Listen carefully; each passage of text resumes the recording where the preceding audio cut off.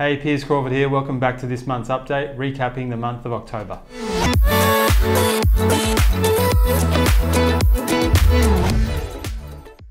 This month we'll be going over a few topics around landlord's protection insurance. It's a timely conversation to have during rising rents and cost of living pressures that could start kicking in hard over the next 18 months. Hi, Janine here from Ray White, Holland Park Camp Hill Property Management Team, and today I'm here to talk to you about landlord's insurance. So building insurance and landlord's insurance are two different things.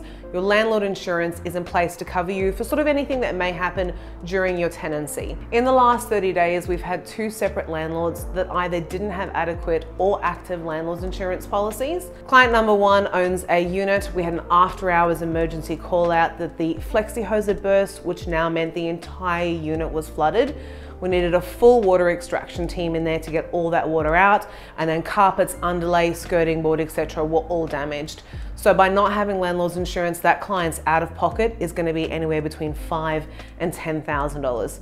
Second client owns a freestanding house in a lower socioeconomic status. That tenant unfortunately didn't meet their lease obligations and just left in the middle of the night. And what they meant is we've now got an owner who's out of pocket for cleaning, rental arrears, and a small amount of damages.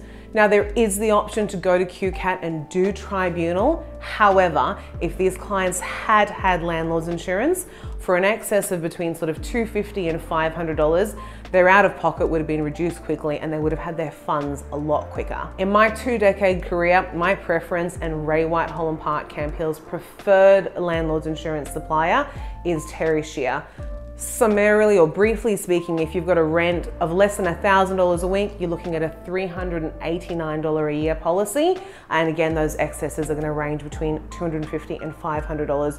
We're gonna link through to the FSG on the website so you can have a look at the PDSs um, and see if it's something that you're interested in. If you already have active landlord's insurance, there's three things I'd like you to check. With the new pet legislation, do you have pet cover? Number two, do you have loss of rent cover? Because that's going to be something that's really important.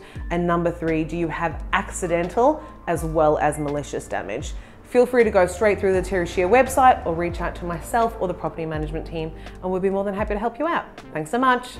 The highest this month was 950, which was Anita Street, Yeronga, five bedroom, two bathroom, two garage. Lowest was 6 2 Lisburn Street, East Brisbane, and that was rented for 300 per week. That was a one bedroom, one bathroom. Pre-market opportunity for this month is 406 Chatsworth Road, Coorparoo, three bedroom, one bathroom, three car. It is 200 metres walking distance to a group of shops, so it falls under the rule of you can subdivide down to 300 square metres. So it's a great opportunity to buy a property that you can rent out and then subdivide later.